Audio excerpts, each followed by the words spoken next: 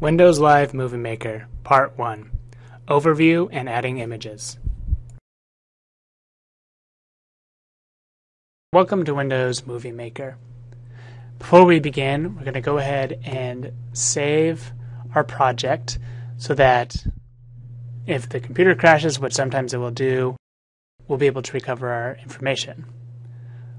So we're going to click on the save and under the digital storytelling folder on the desktop, we're going to save this Movie Maker project as DNA.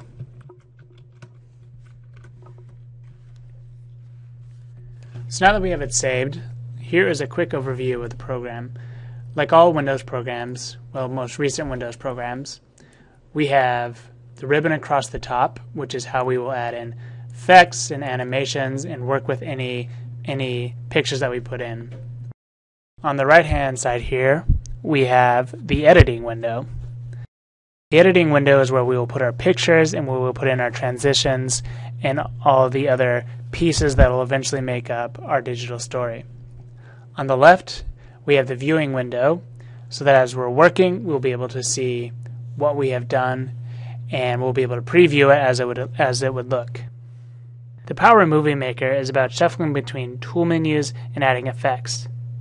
As you add images to your story, you'll be able to edit them quickly and put in transitions. So the first thing we're going to do is we're going to add in some pictures. I'm going to open up digital storytelling photo, or excuse me, digital storytelling folder here. And I'm going to select all the images those in.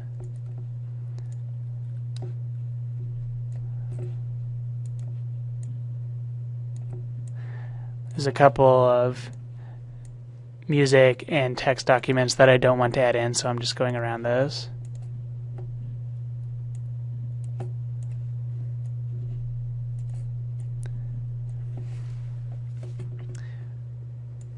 We have dragged all the images into our editing window.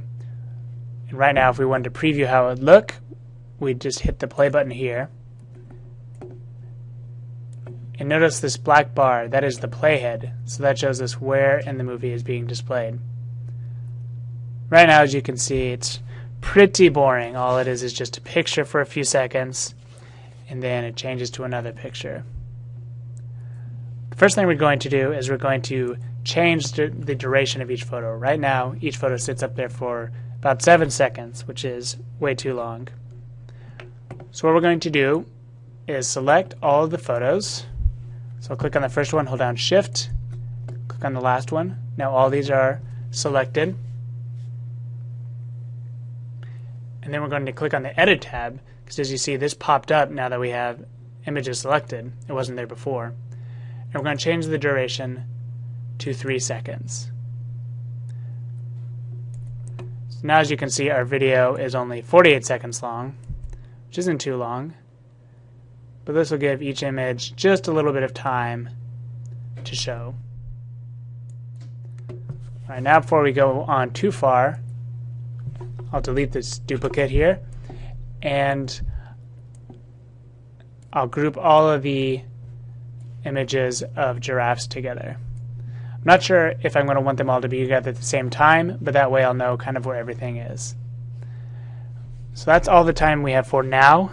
And the next video we'll talk about how to change properties of the photos and adding the Ken Burns effect in titles.